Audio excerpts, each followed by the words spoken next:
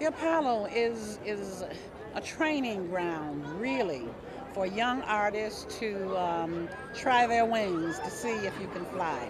You'll find out right here in the Apollo.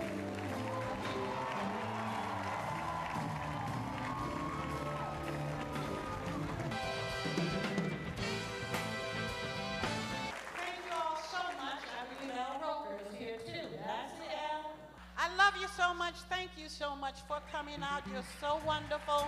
Thank you for sharing this very special moment with me. Thank